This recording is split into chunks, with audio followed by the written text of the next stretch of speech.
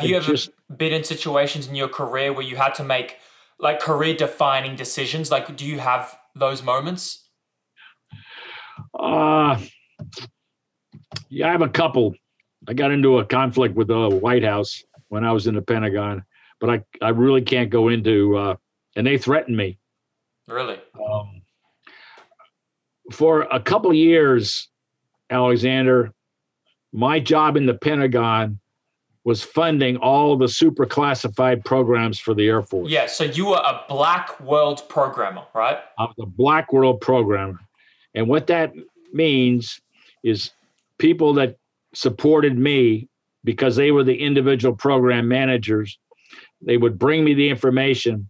I would then brief at typically at the one star brigadier general level. I would then brief at the two star level, the major generals. And then once or twice a year, I would brief at the four star level to the very senior leaders in the Air Force as how we were, how these programs were advancing, how the monies, what we programmed, how they're being expended. And then twice a year or so, with a technical expert, he and I would go up to Congress and brief only the key members who were cleared for what we were doing. But they had to approve the budget per se. And this was a case where um, there were some things that were happening that were not right, and we were not aware of it. Um, it was a it was a kind of a thing that um, had we been aware of it and realized who had made the decision at the president's level, that we would more than heartedly support it. That's what we were about. But it it uh, had all the appearances of some illegal activity, and they threatened me, and I said, "I'm going to the head of the Air Force, the four star, and because I'm seeing where you're taking money, and that's Air Force money, unless you tell me what it's for." Well, they backed down, really? and they they eventually briefed the four star and the Secretary of the Air Force because I said that's what you I said, you're spending their money. It may be very important, which it was. Yeah. But you have to show us that it's, you know, this is a legitimate use of the taxpayers' money and fully uh, within the level of the law. Do you suspect they were putting it into their own pockets? No, no, had nothing to do. It it had to do with President Reagan's vision of how do we better prepare the country in case something in the Cold War there was a a nuclear exchange. Huh. Now, how do we how do we try as best we can to make our democracy survivable? Right. So it's a that's such a tough decision, right? Because that so what I'm understanding is they took from the Air Force budget um, to put into a nuclear exchange to give them a advantage in the Cold It was actually was it was for if you it had nothing to do with the nuclear part of it. Okay. It had to do how do you shelter the senior leadership in the United States, including the Congress and other key members, so that out of it you hopefully might be able to survive and support whatever remains of the country after some kind of an exchange might have taken place. Oh, oh, oh, okay. But that's very important, obviously, right? But yes.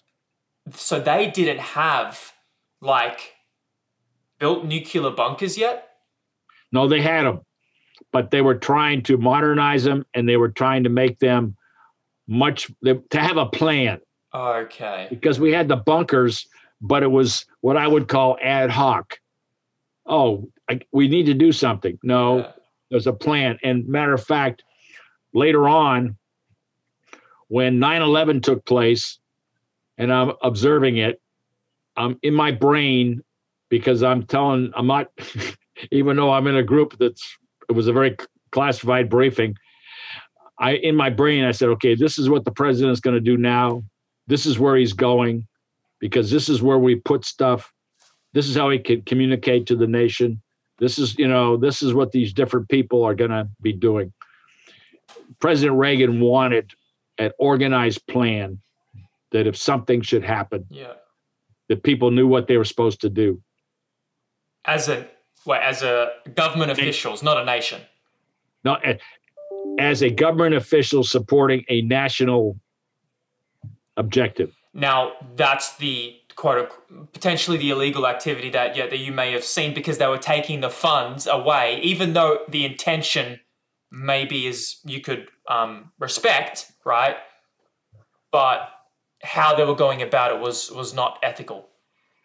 That's right, because when you're taking money that comes from the taxpayers, there needed to be a a trail of decisions that you saw that that rendered that this was what needed to, to take place. It wasn't just somebody with some wild idea uh, going off and doing something. Now this is a correct me for a moment. It's a six billion dollar budget you were managing, right? That's correct. So you then it was obviously large enough, right? In the, large enough number where you thought this this is a big red flag. Uh actually, the amount of money they were taking from us was uh,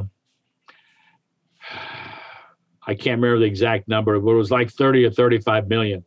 But see, I had complete visibility over okay. all the black money. Got it. And I saw money going somewhere where I approve it, but it had not been approved as far as I knew. And so I couldn't explain why money yeah. was leaving this particular account. And every transaction you had to approve. No, I didn't necessarily have to approve, but I monitored because the approval really came from the general officers. They when they approved something, there was a whole thing that went with it that said, okay, Got when it. you approve this, these are the things that are going to occur. You and mentioned- then there was people that that worked for me or supported me. I supported them that monitored the individual transfers of money uh, and things like that as they expended it. I, de-